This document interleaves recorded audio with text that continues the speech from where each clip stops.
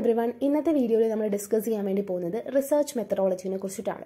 എല്ലാ യൂണിവേഴ്സിറ്റിയിലുള്ള സ്റ്റുഡൻസും ഏതെങ്കിലും ഒരു സെമ്മിൽ പഠിക്കുന്ന ഒന്നാണ് റിസർച്ച് മെത്തഡോളജി എന്ന് പറയുന്നത്.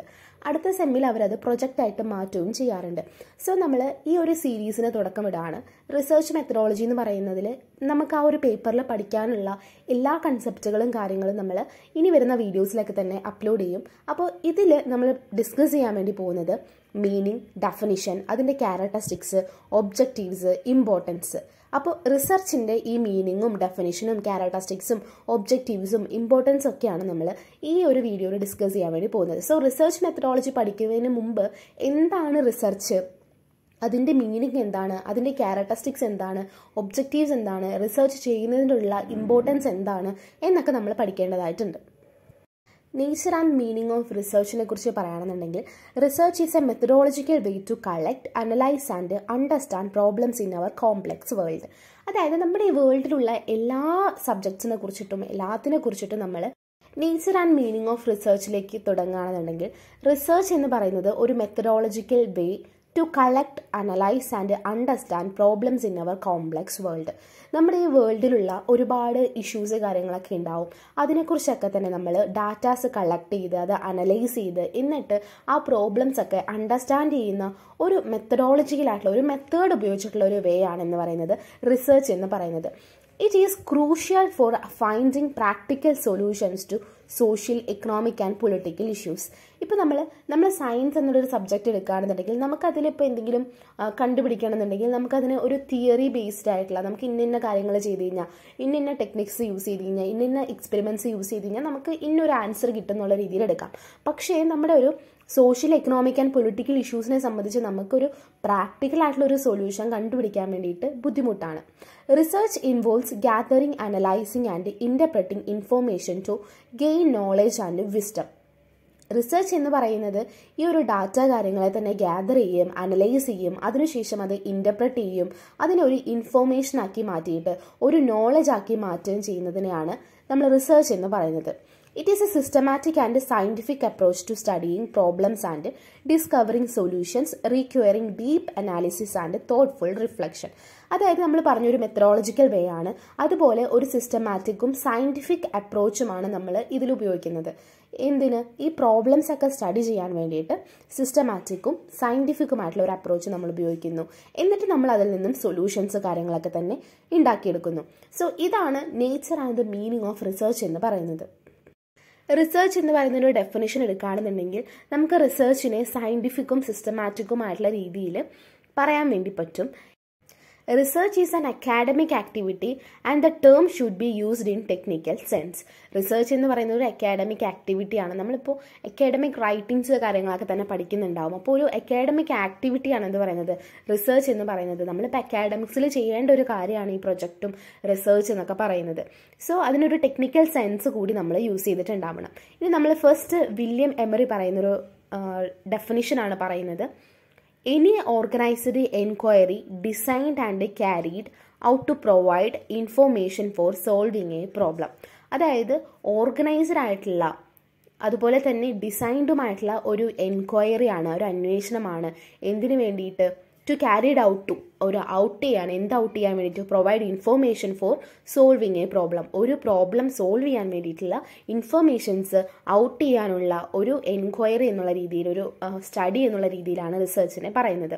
ഇനി the new Oxford English dictionary defines research എന്ന് പറയുന്നത് the scientific investigation in to the study of material sources etcetera in order to establish facts and the reach new conclusions അതായത് ഇപ്പോൾ നമ്മുടെ ഓക്സ്ഫോർഡ് ഇംഗ്ലീഷ് ഡിക്ഷണറിയിൽ പറയുന്ന research എന്ന് വെച്ച് കഴിഞ്ഞാൽ ഒരു സയന്റിഫിക് ഇൻവെസ്റ്റിഗേഷൻ ആണ്. എന്ത്? ഒരു സ്റ്റഡി മെറ്റീരിയലിലേക്ക് അല്ലെങ്കിൽ ഒരു സോഴ്സിലേക്ക് ഇത് എന്ത് എന്തിലേക്കാണ് എത്തിക്കുന്നത്? ഫാക്റ്റിലേക്കാണ് ഫാക്റ്റിലേക്ക് എത്തിച്ചുകൊണ്ട് പുതിയൊരു കൺക്ലൂഷനിലേക്ക് എത്തിക്കുന്ന ഒന്നാണ് റിസർച്ച് എന്നാണ് അതിൽ പറയുന്നത്. ഇനി റെഡ്മാനും അതുപോലെ മോറിയും ഡിഫൈൻ ചെയ്തിരിക്കുന്നത് research as a systematised effort to gain a knowledge അതിൽ എല്ലാത്തിലും നമ്മൾ ശ്രദ്ധിക്കേണ്ട ഒരു കാര്യം സിസ്റ്റമാറ്റിക് എന്നുള്ള ഒരു സിസ്റ്റമൈസ്ഡ് എന്ന് പറയുന്ന ആ ഒരു വേർഡ് യൂസ് ചെയ്യുന്നുണ്ട്. അപ്പോൾ നമ്മൾ ശ്രദ്ധിക്കേണ്ട ഒരു കാര്യം ഈ സിസ്റ്റമാറ്റിക് ആയിട്ടുള്ള ഒരു സ്റ്റഡിയാണ് എന്ത് പറയുന്നത്? റിസർച്ച് എന്ന് പറയുന്നത്. അപ്പോൾ ഒരു സിസ്റ്റമൈസ്ഡ് ആയിട്ടുള്ള ഒരു എഫേർട്ടാണ് എല്ലാവരുടെയും ഒരു അധ്വാനമാണ് ഒരു പുതിയൊരു നോളജ് ഉണ്ടാക്കിയെടുക്കാൻ പുതിയൊരു അറിവ് ഉണ്ടാക്കിയെടുക്കാൻ എന്നാണ് റിസർച്ചിനെ കുറിച്ച് ഇതിൽ പറയുന്നത്. സോ നമ്മൾ നേച്ചർ ആൻഡ് മീനിങ് പറഞ്ഞു ഇപ്പോൾ ഡെഫിനിഷനും പറഞ്ഞു. ഇപ്പോൾ റിസർച്ച് എന്താണെന്നുള്ളൊരു കാര്യം പിടികിട്ടിയിട്ടുണ്ടാവും. ഇനി അടുത്ത് പറയുന്നത് ഈ റിസർച്ചിന്റെ ക്യാരക്ടറിസ്റ്റിക്സ് എന്തൊക്കെയാണ്? ഫീച്ചേഴ്സ് എന്തൊക്കെയാണെന്നുള്ളതാണ്.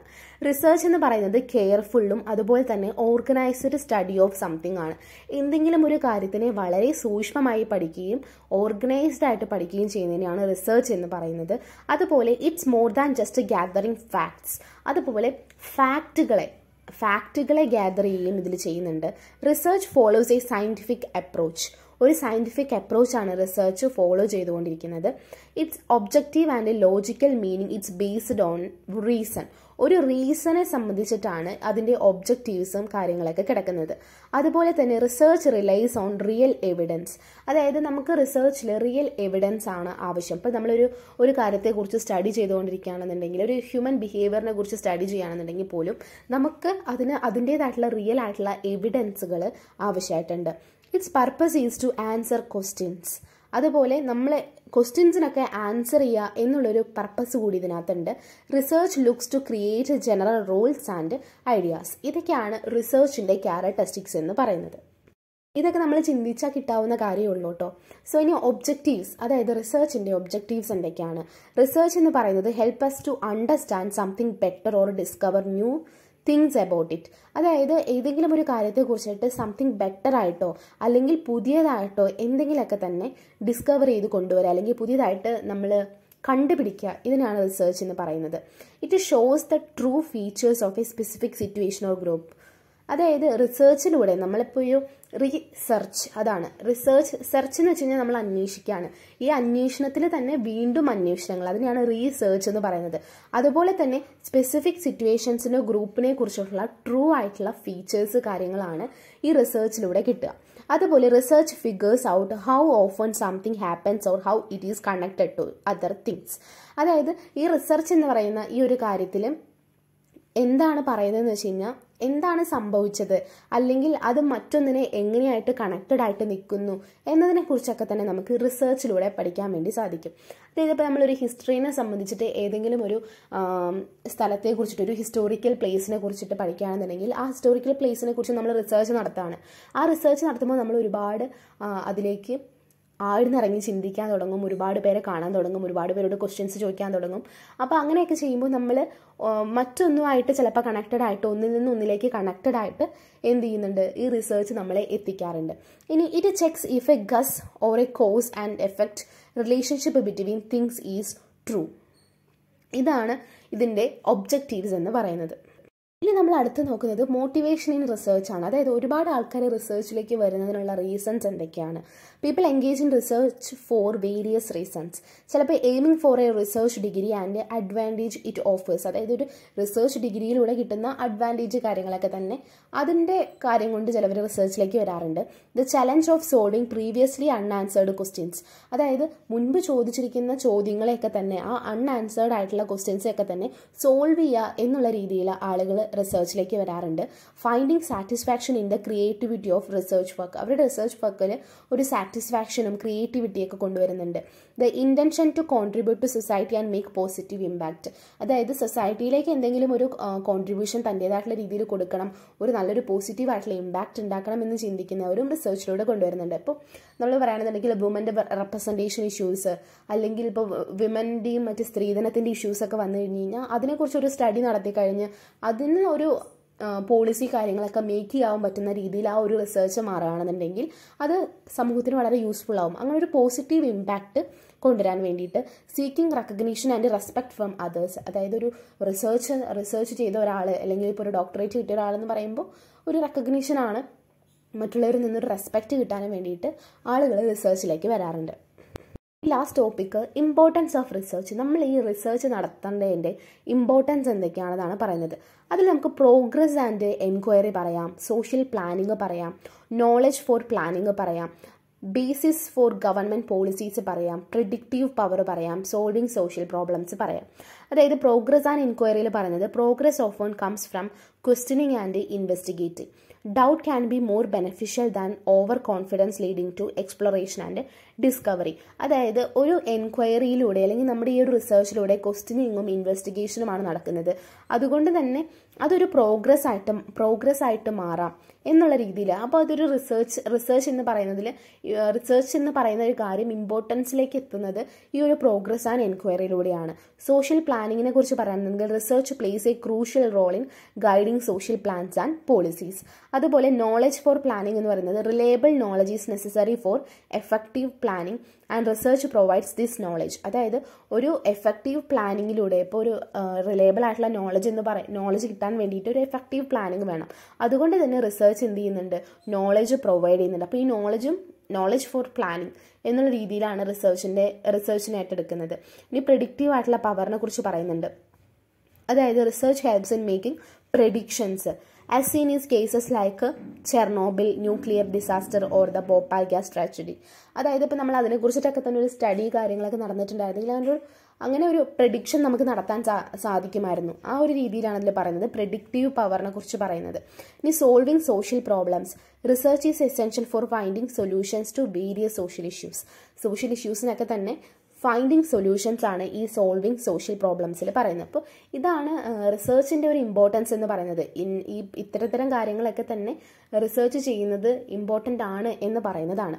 ഇനി ഇതല്ലാതെ അഡീഷണൽ ആയിട്ട് നമുക്ക് പറയാം. എന്താണ് റിസർച്ചിന്റെ ഇമ്പോർട്ടൻസ് എന്ന്. For students pursuing a P H D research is a career path അതായത് അവർ ഈ പി എച്ച് ഡി ചെയ്യുന്നവർക്കൊക്കെ തന്നെ റിസർച്ച് എന്ന് പറയുന്ന ഒരു കരിയർ പാത്തായിട്ടാണ് നിൽക്കുന്നത്. അതുപോലെ professionals in research methodology depends on it for their livelihood അതുപോലെ തന്നെ ഫിലോസഫേഴ്സും തിങ്കേഴ്സും ഒക്കെ തന്നെ റിസർച്ചിനെ കാണുന്നത് ഒരു ന്യൂ ഐഡിയാസ് ജനറേറ്റ് ചെയ്യുന്ന ഒന്നായിട്ടാണ്. അതുപോലെ ലിറ്റററി ഇൻഡിവിജ്വൽസും അതുപോലെ use research to develop new styles and creative വർക്ക്സിലേക്കാണ് അപ്പോൾ ഇതൊക്കെയാണ് in summary research is a fundamental tool for knowledge progress planning and innovation across various field of disciplines പല ഡിസിപ്ലിൻസ് ഉണ്ട്. നമ്മളിപ്പോൾ സബ്ജ നമ്മളൊരു പൊളിറ്റിക്കൽ സയൻസ് അല്ലെങ്കിൽ ഒരു സോഷ്യൽ സയൻസ് എക്കണോമിക്സ് എന്നൊക്കെ പറയുന്നത് പറയുന്നതിൽ അങ്ങനെ ഒരു ഡിസിപ്ലിൻ എടുക്കുകയാണെന്നുണ്ടെങ്കിൽ അതിൽ ഒരുപാട് ഡിസിപ്ലിൻസും കാര്യങ്ങളൊക്കെ തന്നെയുണ്ട്. അപ്പോൾ ഒരു റിസർച്ച് എന്ന് പറയുന്ന ഒരു ഫണ്ടമെന്റൽ ടൂളാണ് എന്തിനു വേണ്ടിയിട്ടും? നോളജിനും ഒരു പ്രോഗ്രസ്സിന് വേണ്ടിയിട്ടും പ്ലാനിങ്ങിന് വേണ്ടിയിട്ടും ഇന്നോവേഷനൊക്കെ പല ഫീൽഡിലും ഇന്നോവേഷൻസിന് വേണ്ടിയിട്ടും ഡിസിപ്ലിൻസിനൊക്കെ വേണ്ടിയിട്ടൊക്കെയാണ് ഈ റിസർച്ച് എന്ന് പറയുന്നത് ഇമ്പോർട്ടന്റ് ആയിട്ട് തീരുന്നത്. സോ ഈ ഒരു വീഡിയോയിൽ ഇത്രയാണ് നമ്മൾ പറഞ്ഞിട്ടുള്ളൂ. ഇനി അടുത്തടുത്ത വീഡിയോസിൽ റിസർച്ച് മെത്തഡോളജിയുടെ കൂടുതലായിട്ടുള്ള കൺസെപ്റ്റ് കാര്യങ്ങളൊക്കെ തന്നെ പറയുന്നതായിരിക്കും.